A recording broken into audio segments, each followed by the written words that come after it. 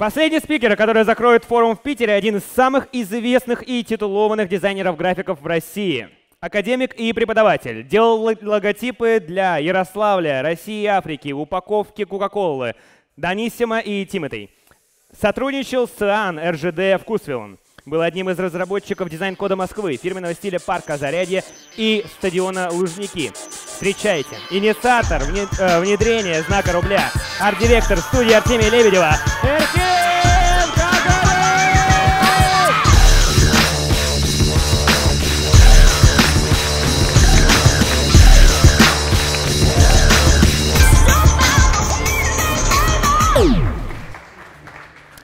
Добрый вечер.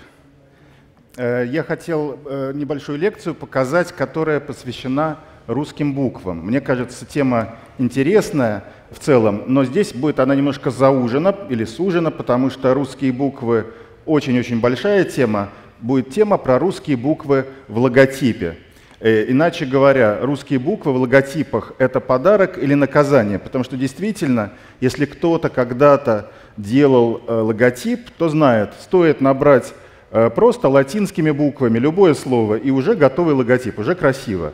А, надо набрать э, русскими буквами, и получается что-то не то. То есть почему-то какой-то логотип получается странный.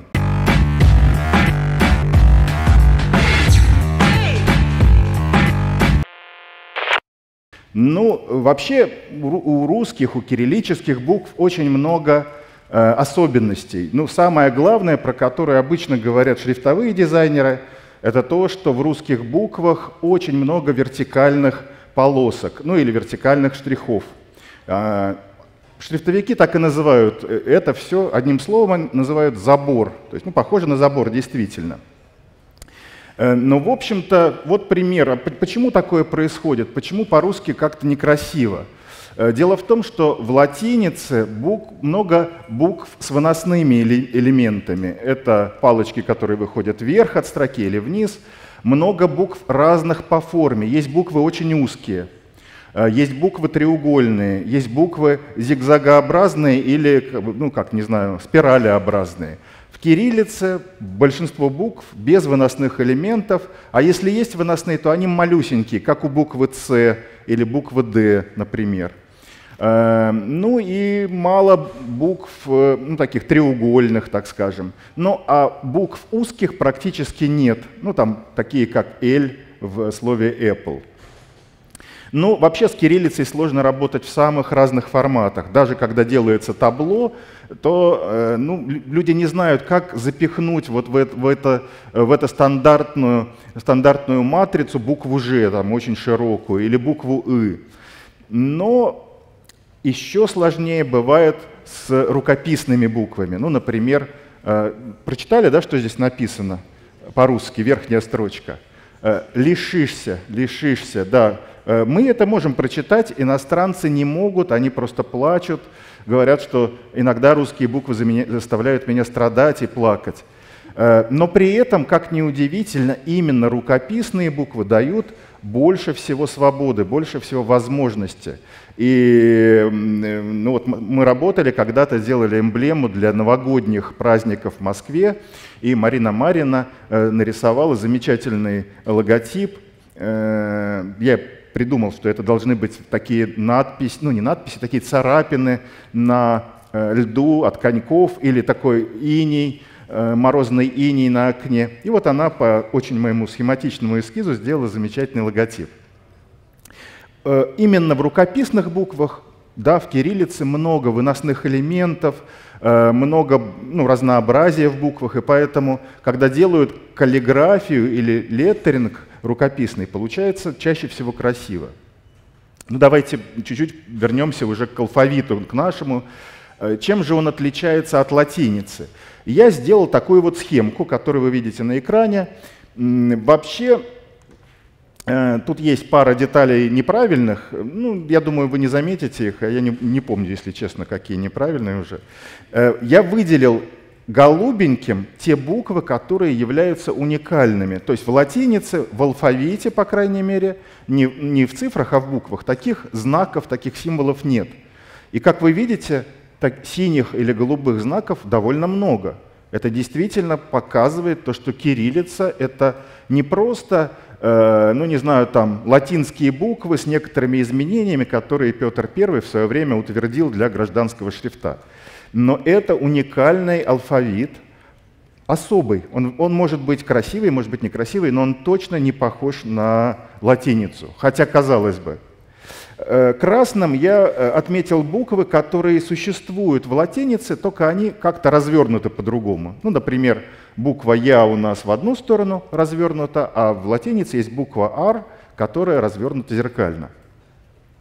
Ну и тут еще и серенькие буковки. Серенькие встречаются и в кириллице, и в латинице, но в разных кассах. Э, кассы — это так типографы называют заглавные большие буквы или маленькие строчные. То есть шрифт уникальный, алфавит уникальный, соответственно, это мое мнение, э, наверное, можно предположить, что мы можем делать что-то уникальное. Вообще, э, не случайно я назвал э, вот эту лекцию «Подарок или наказание». Работать очень сложно, мучительно, но, может быть, все-таки в этом есть какой-то какой плюс, да? какой-то подарок для нас, для дизайнеров, по крайней мере. Давайте посмотрим и попробуем выяснить, ну, вот есть ли какие-то плюсы. Вообще, э, поскольку кириллица э, и кириллических логотипов, кириллица в логотипах — это довольно ну, недавнее явление, так скажем. Ну, потому что был Советский Союз, 70 лет. 70 лет не было потребности вообще в создании ну, так, логотипов. Да, иногда их заказывали, ну, по каким-то госзаказам, но, в общем-то, они были не нужны. Почему? Потому что не было конкуренции, экономика была плановая. Э, соответственно, идентика компаний, идентика брендов была не так востребована, не так актуальна. И я думаю, именно по этой причине, если мы видим, что-то по образу напоминающее настоящий фирменный логотип, такой вот, э, то мы его читаем сразу в латинице. То есть мы не, даже не, ощущ... не, не верим, что это кириллица. Да? И поэтому логотип РЖД многие люди там читают как там, P, I, D или что-то там такое, что-то подобное. Я думаю, что со временем это может немножко измениться. Некоторые логотипы, я думаю, мы сразу читаем по-русски. Э, по крайней мере, вот такой, который называют э, русский иероглиф, ну там некоторые. И не, не, он не такой не один. Вообще наши люди гораздо на выдумке, они могут многое чего э, придумать. И, кстати, работает. Действительно, все читается очень, очень красиво, очень хорошо. Казалось бы, это такие шутки, но при этом э, замечательный дизайнер Андрей Логвин сделал логотип для московского магазина, который называется «Цветной», практически используя тот же подход. Совмещение в одной э, литере в, в двух разных букв. Ну, в данном случае это еще и очень кириллические буквы. Буква «С» и «И» краткая. Ну и в целом вообще находки какие-то или какие-то э, узнаваемые, характерные вещи можно найти в, даже в самой маленькой детали кириллицы – как мне кажется. Например, в свое время был вот такой логотип для журнала «Огонек», который просто использовал две точки, да, точки над «ё», э, вот, это, вот, вот эту вот диакритику. Ну, сейчас эм, вот хочу показать один из тех кириллических логотипов, которые мне очень нравятся. Э, нравится за счет своей абсолютной простоты, но при этом абсолютной естественности. Посмотрите, я сейчас попробую включить лампочку – Посмотрите, буква А и буква Г просто примыкают друг к другу. Буква У и буква Ш тоже просто примыкают друг к другу параллельными линиями. И тоже происходит, где буква Ш пристраивается к букве А. Они все друг к другу пристроились, и собралась вот такая вот дуга. Ну, такую дугу иногда делают для придания какого-то образа торжественности, еще чего-то. А здесь оно все само пристроилось, само все совпало. И даже удивительным образом сложное расстояние пустое между буквой Г и буквой У почти исчезло, ну, потому что сблизились нижние хвостики. Очень простой, но при этом как бы изнутри такой, изнутри правильный логотип. Э, бывают и другие примеры. Э, вот логотип, который я увидел в сети, мне он очень э, понравился. Мало того, что тут мы можем прочитать его как гол, да, ну и получилась такая картинка, такая метафора замечательная. Э, еще один логотип. Я, честно говоря, не знаю, э, э, осознанно ли дизайнер нашел такой ход, или это просто какая-то случайность, но мне эта работа кажется удивительно точной, удивительно адекватной. Ведь для идентики очень важно соответствовать ну не знаю, либо компании, либо бренду, но в данном случае это бренд политической партии. Выбран шрифт довольно такой вот, ну не знаю, э, неэлегантный, немножко корявый даже, но самое важное — это буква «Л» с очень нехарактерным вот таким вот хвостиком, с такой капелькой, неуместной, казалось бы. У меня две ассоциации есть вот с этой вот капелькой. Первая — это, ну не знаю, какой-то бубенчик на колпаке, ну, может быть, клоунском каком-то колпаке. А второе — это э, такой вот, знаете, в восточной обуви, по крайней мере, сказочной восточной обуви, были такие туфли какие-то, там, не знаю, скороходы или какие-то еще, и так, такой ну, носок у, у каких-то сандалий завернутый. Прямо я сразу вспоминаю слова про то, что про Индийские океаны, там мы будем мыть сапоги. Я не знаю, удивительным образом, казалось логотип страшноватый, но он очень точно подходит, как мне кажется, э, теме, для которой предназначен. Вообще очень часто вопрос о кириллице в логотипах встает, когда речь заходит о э, кириллизации или переводе на русский каких-то марок, каких-то брендов.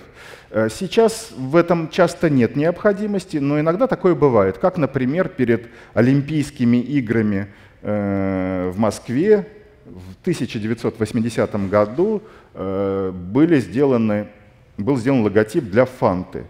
При этом в латинице он довольно элегантный, но в кириллице широкие, широкие столбики вот эти – не дали, не позволили сделать его красивым. Ну, сравните, вот как фанта выглядит в латинице и как в кириллице. А логотип для Кока-Колы, он, кстати, разработан был чуть раньше, аж чуть ли не в конце 50-х годов. Дело в том, что Болгария, первая из социалистических стран, э, купила лицензию на производство этого напитка и сделала ну, в Болгарии, вы знаете, да, там э, буквы используются кириллические, но есть некоторые отличия. Например, там у буквы К в, ну, выносной элемент есть, ну, как в латинской букве как К. Я думаю, что, скорее всего, логотип этот делал Стефан Кенчев, такой замечательный болгарский дизайнер. Он практически все делал в Болгарии, очень хор- хороший дизайнер, поэтому болгарский дизайн был на довольно хорошем уровне. Ну и этот логотип потом с обрезанной уже буквой К использовался и в Советском Союзе. А, не могу не показать обложку журнала «Реклама», которую сделал в 90-м году Владимир Чайка – мотив, мотив э, понятно какой, но сейчас уже, может быть, никто не понимает контекст. Вообще, пива нет, это очень распространенная табличка в Советском Союзе на пивном магазине, ну или на, на пивной, э, в пивном ресторане. Эм, еще один проект, тоже я нашел в интернете. Э, к сожалению, я забыл, э, забыл имя, фамилию автора, но вы легко можете найти в интернете.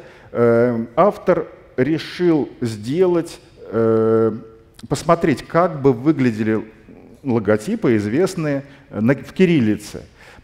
Там, безусловно, есть разные работы, разные по уровню, но в целом интересный проект, который показывает, что с одной стороны, да, это возможно, с другой, не всегда, не всегда что-то важное э, можно сохранить, что-то теряется. Э, ну, не знаю, как вот в логотипе Браун теряется, э, ну, не знаю, такая простота, чистота и надежность. Кстати, э, я сейчас извините, да, фамилии я не всегда все помню, но точно знаю, что тот самый логотип Браун, который используется сейчас, вот он слева нарисован, это современная версия. Это редизайн старого знака, а, который был сделан бывшим жителем города Санкт-Петербург. А, он уехал в Германию и уже, по-моему, там делал эту работу. Ну, то есть это, по сути, работа, хоть и на латинице, но работа нашего русского дизайнера. Вообще, бывает и наоборот, когда иностранные дизайнеры делают проекты для России на русском языке. Э, так э, известная очень э, британская компания сделала логотип для торговой марки Beeline. Но у них, у них они сделали все хорошо, но возникла проблема и очень серьезная с кириллицей. Вообще иностранные шрифтовые дизайнеры не всегда умеют правильно, хорошо работать э, с кириллицей. И вот здесь, если вы посмотрите, э, сравните два логотипа, увидите, что логотип в кириллице намного шире, там все буквы шире, чем в латинице. А почему это произошло? Иностранцы просто не знали, а как правильно написать букву «Л». Видимо, им кто-то нарисовал вот такую странную, вытянутую по горизонтали букву, но им пришлось все остальные расширять, просто чтобы она не выпала, чтобы не было такой вот логотип, а в середине горка какая-то, чтобы дети катались.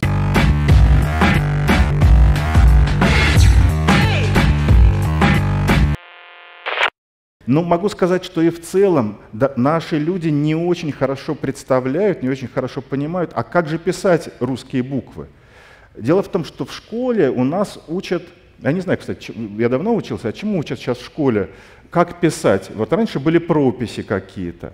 Э, ну, я думаю, что и сейчас примерно то же самое. То есть не, в школе не учат писать так называемые печатные буквы. В школе учат писать рукописные буквы. А как пишутся печатные, никто не знает. Вообще в некоторых странах мира детей, особенно маленьких, их не заставляют писать вот эти сложные прописи, да, вот как связывать все буквы в непрерывной линией. Им разрешают делать так называемую печатную скоропись. То есть ты пишешь, ну как маленькие дети, знаете, они пишут печатными буквами все, простыми очень. И то же самое поддерживают в школе, просто ты начинаешь писать печатными быстрее. И, во-первых, это разборчивее намного, а во-вторых, э, другой совершенно, другой совершенно шрифт, другая пластика. Но и в целом наши знания, я имею в виду всю страну, не только дизайнеров, но и даже дизайнеров в том числе, у нас не, не очень хорошо понимают, а что же такое шрифт, а какие шрифты, в том числе и кириллические, когда существовали. Именно по этой причине мне очень трудно смотреть кино. Да, я понимаю, это профдеформация, но вот я не знаю, когда смотрю фильмы, меня всегда цепляют неуместное использование тех или иных шрифтов. Самые разные фильмы, практически, ну, да, я не видел ни одного фильма за последнее время, где не было бы так, так называемых киноляпов. Чаще всего используются шрифты, которые э, появились позже, или они существовали, но в других странах. Ну, не знаю, один из самых ярких примеров – невероятного количества киноляпов, это сериал «Мастер и Маргарита». Э, мало того, что используется вот вверху там это Times New Roman, внизу Ареал. Вообще, конечно, для шрифтовых дизайнеров это боль такая. Э, такие два шрифта, они не значат, что они плохие, но их почти всегда используют неуместно. Ну и понятно, что никакого ареала не могло быть в начале 20 века, а самое главное, ни в одном доме драматурга и литератора никто бы так не смог написать, а, потому что это, понятно, не написано, это напечатано на, бан на баннере, на плоттере каком-то, а раньше все писали от руки, и от руки такое, конечно, писать никто бы не стал.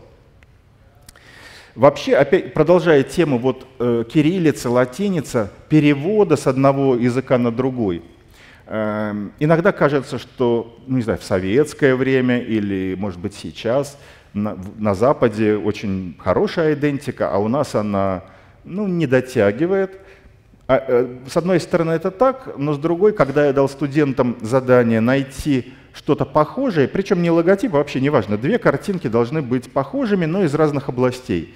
Вот один из студентов э, нашел, оказывается, э, бывшая эмблема детского мира в Москве точно такая же, ну почти, да, как эмблема известной автомобильной компании. Разница не такая большая. Вообще мы со студентами обычно, вот когда я сейчас не преподаю, но когда я преподавал большие такие многолетние курсы, мы на первом курсе в первые дни договаривались, и договаривались о том, что все проекты будем делать в кириллице, только в кириллице, то есть без латиницы. Вообще, конечно, это немножко жестоко. Это очень тяжело делать именно кириллицу.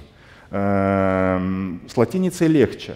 Но с другой стороны, опыт мой показ, показывает, что это работает. По крайней мере, те ученики, кто учился тогда, они уже добились большой известности и заняли лидирующие какие-то позиции.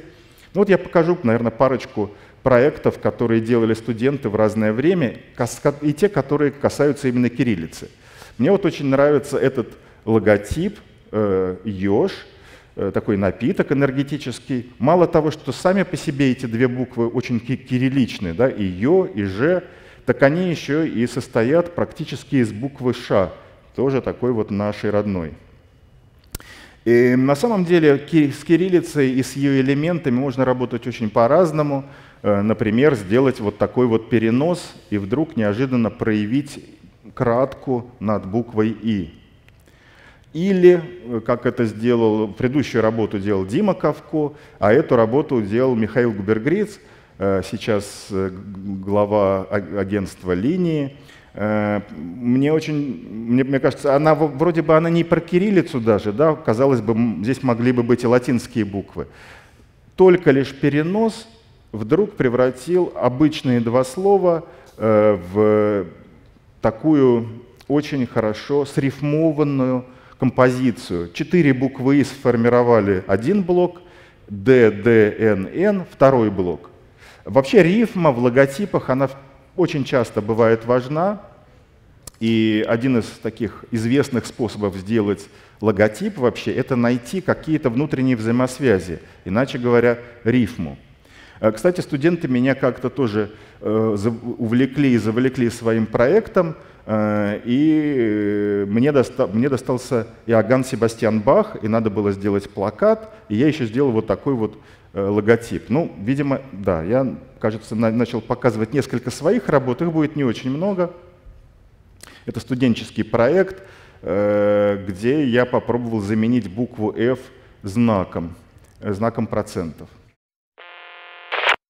Три буквы РФС, Российский футбольный союз. Это, это на самом деле не проект знака, я его никогда не предлагал, и мне кажется, он был бы, наверное, неуместен. Эм, но то, что из наших кириллических букв можно делать что-то, чего не получится сделать из латинских, мне кажется, это дает возможность что-то найти. Дело в том, что да, вот был Советский Союз, и 70 лет в логотипах почти э, ну, ничего не делалось, или было сделано очень немного. А в то же время э, во всем мире, представьте, вот весь мир, да, вот есть Советский Союз, Россия, а есть весь остальной мир. И весь остальной мир в большинстве своем делает э, логотипы с латиницей. И с за это время, ну и за те 70 лет, и за следующие, сколько там прошло уже времени, еще 30, да, наверное, лет, то есть за 100 лет примерно, сделали очень много логотипов, работали со всеми латинскими буквами. А с кириллицей за это время не так уж много работали. Мне кажется, это дает возможность найти в кириллице что-то, э, что позволит сделать уникальную работу. Ну, просто потому что с кириллицей еще не так много сделано, а и во всем мире ее даже не знают. Мне кажется, что это шанс, ну не знаю, что-то открыть. Это какой-то студенческий э, мой проект, э, эмблема для парфюмерно-косметической фабрики. А это тоже проект, но уже не студенческий, взрослый, был проект э, по созданию водки. И здесь довольно любопытно удалось найти рифму в диагоналях. Так, ага, я не ту кнопку нажал, ну да ладно. Это не совсем логотип, ну, не настоящий, но тем не менее буквы М и Д для московского десанта, ну, дизайнерский десант в городе Красноярск, там проходила и выставка, и какие-то мастер-классы, и я решил сделать вот такую татуировку себе временную. Буква М и кириллическая главная буква Д. Еще один проект алкогольный, водочный «Мороз и солнце», Эм, мне, я не знаю, как вы прочитали эту надпись, но я почему-то иногда слово «мороз» начинаю читать сверху вниз, а не снизу вверх, ну, как бы под углом. И в этом случае, как мне кажется, вдруг в какой-то момент ты понимаешь, что что-то не так. То есть вроде бы ты прочитал, но даже не понял, как именно.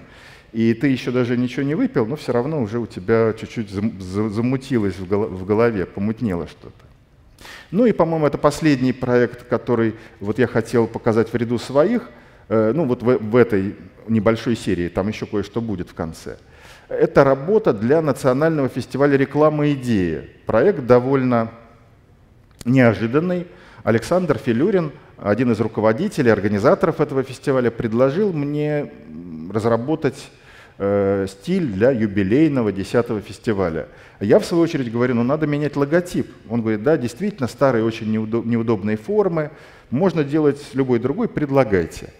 Э, я начал делать, но почему-то у них на старом логотипе была падающая звезда, и на этом тоже получилась падающая звезда. Единственное, я придумал, что ее можно нарисовать с помощью букв И, Д и Е.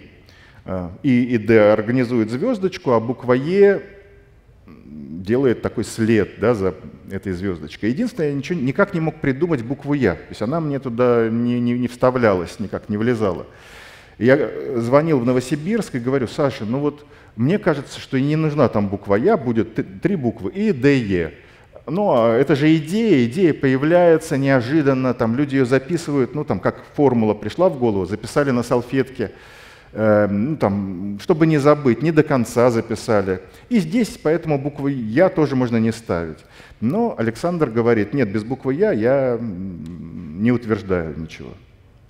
Я даже помню этот момент, когда я повесил трубку с огорчением, э, после разговора с Новосибирском пошел в соседнюю комнату в нашем офисе и вдруг по дороге понял, что можно же поставить значок registration, это будет буква «Я».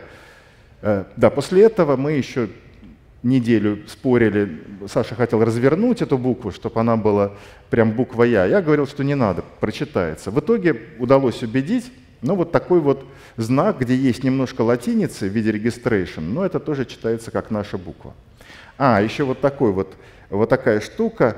Это, по сути, открытка, но когда-то она была сделана для... Так, все готовились к миллениуму встречам и встрече Москвой 2000 года. Мне показалось любопытно, что внутрь такого вот декоративного сове, э, советского, что же я говорю, э, декоративного кириллического шрифта э, русской вязи можно вставить римские, точнее арабские, арабские цифры. В общем, любопытно. С цифрами еще одна такая была история. Э, открытки, их было несколько. И мне показалось любопытным, что буквы и цифры, ну в данном случае кириллические буквы, они могут э, заменять одни другие. Я даже не очень понимаю, здесь написано это цифрами или буквами, то есть как это я прочитал. Кстати, вообще, вы, наверное, знаете, что раньше, до того, как к нам пришли и римские, и арабские цифры. На Руси использовались буквы для обозначения цифр. Были специальные знаки над буквами, э, которые давали понять, что это уже не буква, а это цифра. И поэтому на, некоторых часах даже сохранились еще э, буквы вместо привычных нам цифр. Ну и э, парочка последних, последних работ – логотип для Ярославля, который, эм, на мой взгляд, был очень уместным именно для тех задач, которые ставились, а, а именно показать э, то, что город современный, активно развивается. Надо было сделать знак, который бы приняли прежде всего молодые люди, которые живут в Ярославле. То есть это знак не туристический, а внутригородской, для внутренней городской коммуникации. И появилась идея эту стрелку, ну, э, эту стрелку всегда в разных ситуациях дополнять разными текстами. Ну, например, сделать наклейки «я» в виде стрелки «это люблю». И человек может приклеивать и этой стрелкой показывать то, что он в городе любит. Или «я» и стрелочка «хочу, чтобы это починили». Ну и, соответственно, для коммунальных служб приклеивать и показывать ну, там, те места, которые нуждаются в ремонте. Ну, то есть самые разные там были наклейки. Вообще я э, предполагал, что, как это часто бывает, в студию Лебедева очень быстро начнут присылать примеры таких же аналогичных знаков, логотипов, ну потому что, ну это же стрелка, да, понятно, что стрелок много. И я был уверен, что наверняка в кириллице нет, а в латинице буква R э, в виде стрелки, которая направлена в другую сторону зеркально, наверняка пришлют. Но ни, никто не присылал. И это меня удивило. Я думаю, ну неужели в мире такого не, не найдется? Прошло примерно два года, потом Артемий Лебедев, он поехал куда-то в Африку в путешествие, и только там смог сфотографировать. Вот теперь я знаю, что да, все-таки есть такая стрелочка в виде буквы «Р», но в кириллице такого нет. Естественно, это немножко разные смыслы, и главное, мне кажется, что это какие-то возможности. Ну и когда, когда в свое время мы э, с коллегами выбирали, какой же знак рубля нужен, был очень серьезный вопрос. Необходима латинская основа, то есть латинская буква R в виде рубля, или кириллическая – и тогда э, мы сошлись на том, и вот там Юра Гордон, он многое про это говорил, э, на том, что буква должна быть кириллическая, потому что очень важно было лояльное принятие внутри страны, чтобы наши люди ощутили этот знак как ну, там, свой собственный, ну или наш родной, так скажем. Это наш рубль, и, в общем-то, нам не так важно, э, как другие все это будут воспринимать. Ну и поэтому такой знак мы утвердили, и в итоге через всего лишь каких-то 12 лет удалось добиться его принятия на государственном уровне. А фоном, кстати, является картинка, эта фотография мне устроили в нашем старом офисе э, сотрудники, такое поздравление, когда знак был принят, вот э, окруж, окружили меня вот этими рублями.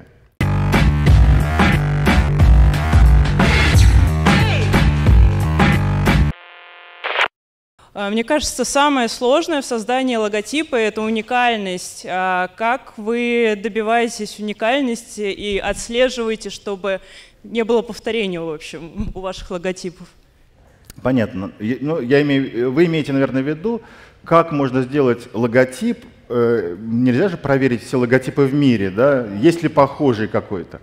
Э, я могу ответить, что, конечно же, конечно же, э, в принципе, мы живем в такое время, что не, нет возможности ни у кого, вернее как, возможность такая есть, проверить все логотипы в мире и понять, нет ли такого, не сделал ли кто-то такой же. Другой вопрос, что это займет довольно много времени и денег. И эти, этих денег будет намного больше, чем вообще на проект предусмотрено в любой работе. Поэтому сейчас, с одной стороны, да, есть определенный уровень экспертизы, а именно, ну, не знаю, там, насмотренность, ну, допустим, моя, да, потому что все логотипы, которые я в жизни видел, я э, в целом помню. То есть я, ну, не знаю, там, сколько сотен тысяч я видел. И, и не только моя, да, еще и других людей. То есть, э, как бы, может быть, экспертиза такая. Но могу сказать, что в целом есть еще и такая вещь, просто как, э, э, ну, есть распространенные ходы, и, ну, условно говоря, да, там, если, если делать логотип с буквой О в серединке и вставить вместо этого круглый предмет какой-то, ну, там, условно, солнышко, для детского сада солнышко, то можно, не проверяя, я могу сказать, что, конечно же, такие есть, их много, потому что ход очень простой, именно ход конструктивный. Если ход чуть более сложный, или более наглый, вот как в логотипе Ярославля, я считаю, это очень наглый ход. То есть вообще взять стрелку и сказать, что это буква Я. То есть даже не, не, не делать эту стрелку.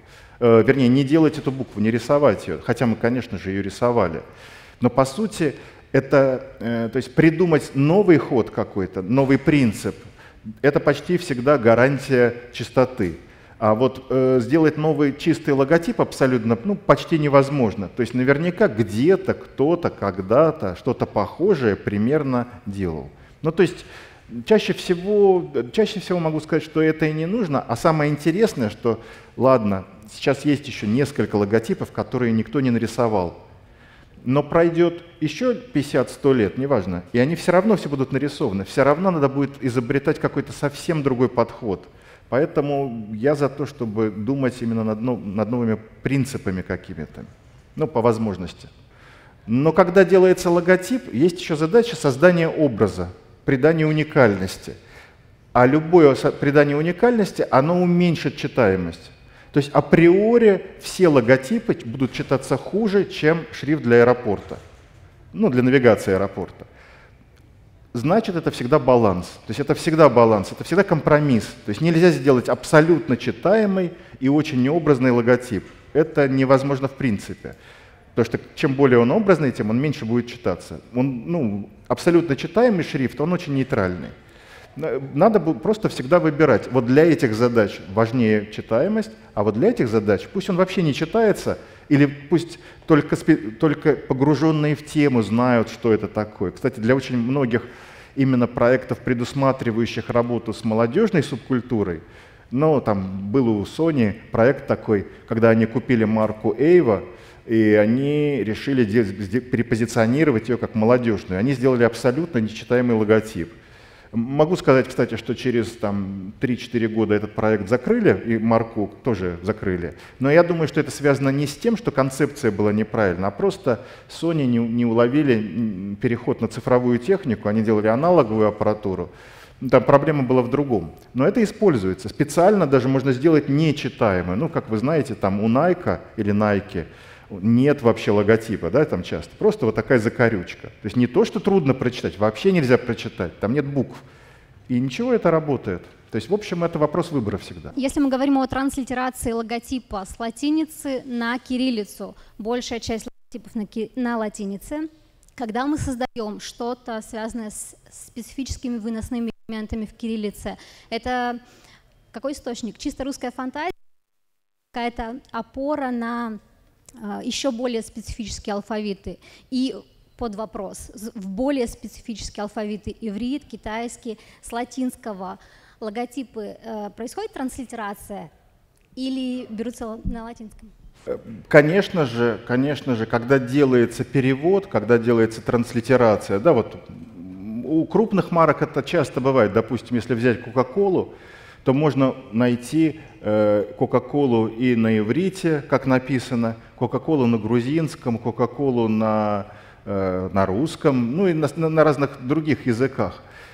Другое дело, что, конечно же, не всегда это необходимо, э, и не всегда это э, легко прочитывается сразу, но контекст помогает. Когда вы увидите надпись белую, неважно даже, как она будет примерно выглядеть, ну там что-то будет такое вот э, кудрявое, на бутылке вы догадаетесь, что тут, наверное, написано Кока-Кола. Пусть это будет по-арабски или как-то еще.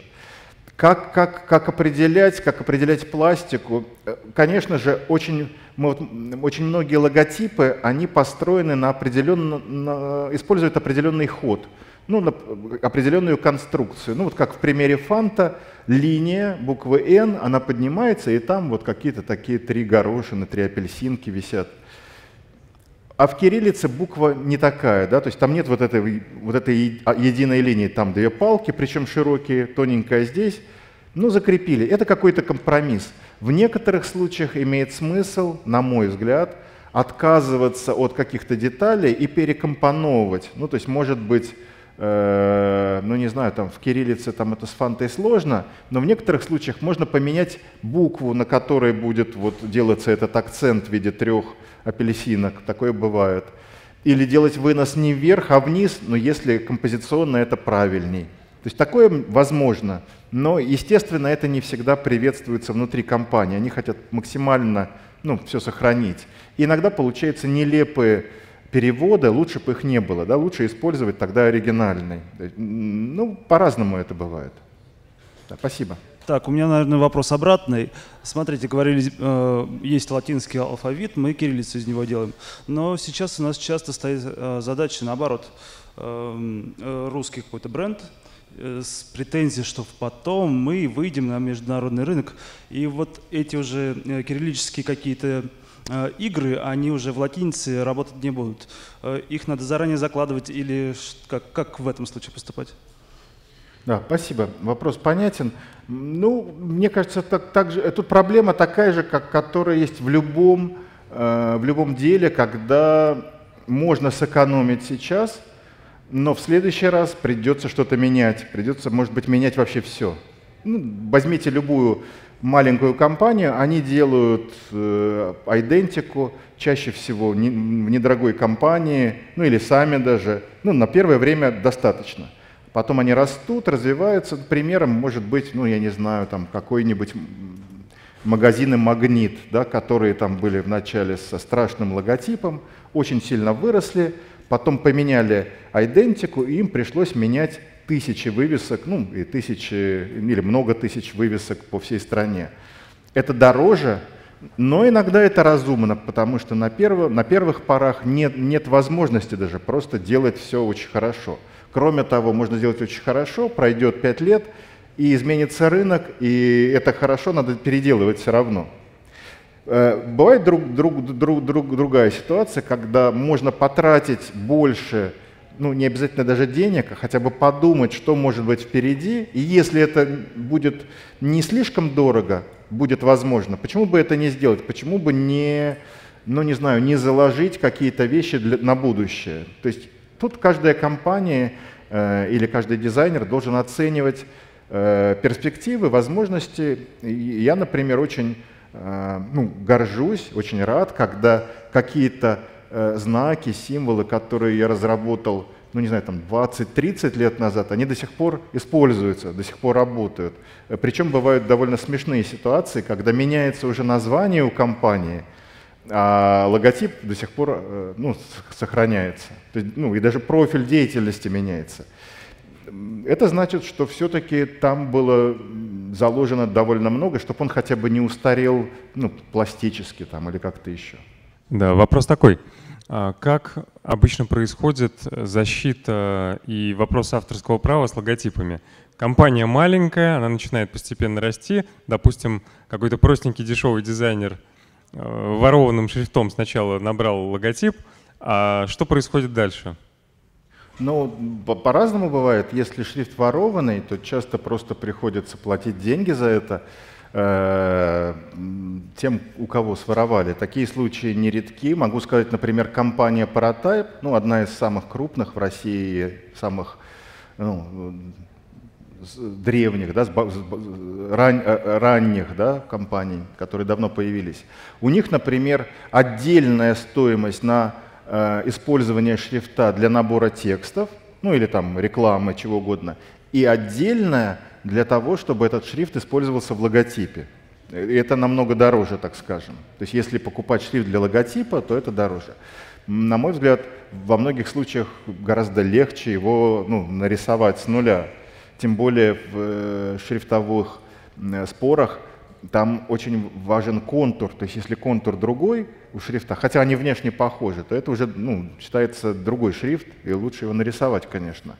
Тем более, все-таки более точно можно выразить образ, э, требуемый образ. Ну и в целом, э, в чем разница между наборным шрифтом и шрифтом для логотипа? В логотипе только эти буквы, только в такой последовательности, и поэтому можно проявить максимально характер этих букв именно в связи друг с другом. Вот найти идеальную такую штуку. Дело в том, что шрифта такого, скорее всего, не будет. Там каждая буква должна работать с любой и в любой последовательности при этом. Рекомендация э, сделать уникальное написание, она довольно трудно исполнима. Это нужен профессиональный узкий опыт, э, это дорого и сложно. А если денег нет, бизнес стартует или запуск какого-то проекта, который непонятно пойдет, не пойдет, как сделать э, дешево, красиво, круто, э, не нарушая авторских прав? Ну, вы же знаете, да, что дешево, да еще и круто, и красиво, а еще и быстро. Э, так не бывает. То есть что-то надо выбросить из этого. На самом деле есть, есть даже уже магазины готовых брендов, они недорогие, они не идеальные они, скорее всего, подойдут не очень хорошо, но зато они уже готовые, да, так скажем, есть какой-то средний уровень. Кроме того, могу сказать, что сама разработка э, шрифта для логотипа, ну не всего шрифта, там же только несколько букв, это не такое уж, ну это дорогое относительно занятие, но оно не дороже, чем любой логотип сделать, э, рисованный, какой угодно. А, и этим занимаются, и шрифтовые компании этим занимаются, и просто шрифтовые дизайнеры. Ну, у дизайнера чаще всего это чуть дешевле, чем в компании. Но, на мой взгляд, в любом случае э, все, будут, ну, все выбирают те решения, которые им кажутся оптимальными. То есть ну, просто надо узнать цены, предложения. Я, я бы посоветовал все-таки вам чуть-чуть э, ну, не бояться, обратиться ну, там, в какие-то компании, не обязательно самые топовые, да, но на рынке много компаний, и э, некоторые работают за не очень большие деньги, так скажем, и делают э, в то же время достаточно, достаточные для старта проекты. А, они могут быть не абсолютно идеальными, да, так скажем, но они вполне достаточные. Я думаю, вы найдете то, то что вам необходимо. Да, спасибо, спасибо еще раз. Да, спасибо. Хорошо.